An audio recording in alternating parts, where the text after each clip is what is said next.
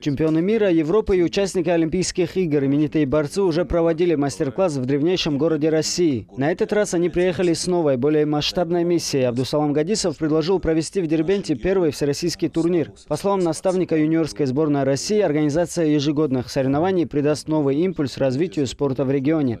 Из Сибири приедут сюда ребята, с Москвы. Такого уровня еще не было. Да, здесь практически нету турниров, всероссийских турниров практически нету. И не, не то, что по вольной борьбе, ни по какой дисциплине, вот я информацию собирал. Это будет, во-первых, для ребят стимул, чтобы они занимались спортом, вели здоровый образ жизни, и также для людей, которые будут сюда приезжать, видеть, что здесь можно приехать с семьей, отдохнуть.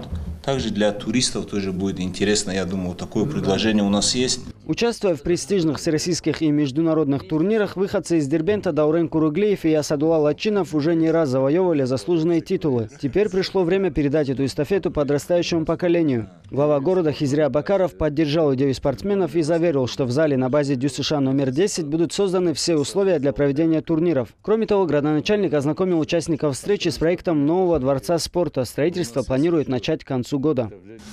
Здесь получается гостиница, здесь будет этот э, бассейн, да, она будет раздвижная, да, ну, для спортсменов самый раз.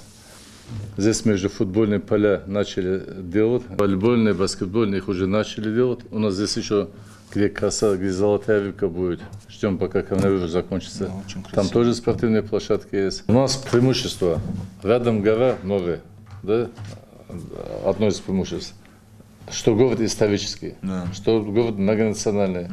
И вкусной еды нигде нет.